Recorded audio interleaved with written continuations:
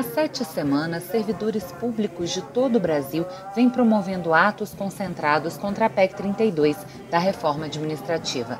A proposta de Bolsonaro Guedes representa o fim dos serviços públicos e de direitos assegurados pela Constituição de 88.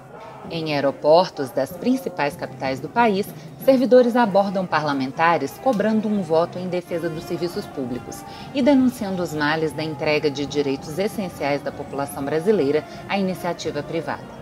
Entidades sindicais dos servidores municipais, estaduais e federais filiadas à CUT estão firmes na luta pela derrota da PEC 32 e assim construindo a unidade com as demais centrais sindicais. Confetam, Senasep, Condicef, CNTE, CNTSS e Proifes formam a aliança das três esferas da CUT. Com empolgação e muito engajamento, os atos no aeroporto em Brasília dão recado aos parlamentares. Se votar, não volta.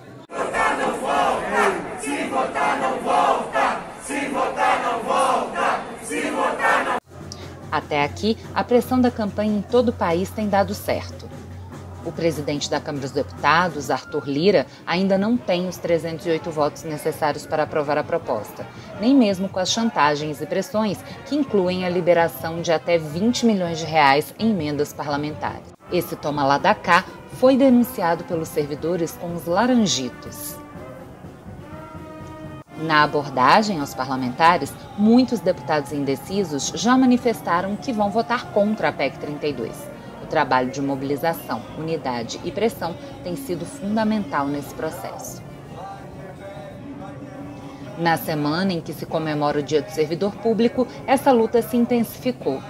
Juntos, vamos derrotar a reforma administrativa e afastar de vez a ameaça de destruição dos serviços públicos que precisam ser melhorados e garantidos a toda a população.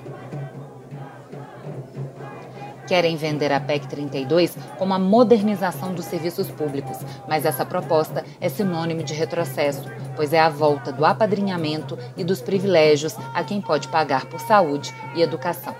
Deputados, estamos de olho. Votem contra a PEC 32. Um voto a favor dos serviços públicos é um voto a favor do Brasil. Cancela a reforma já.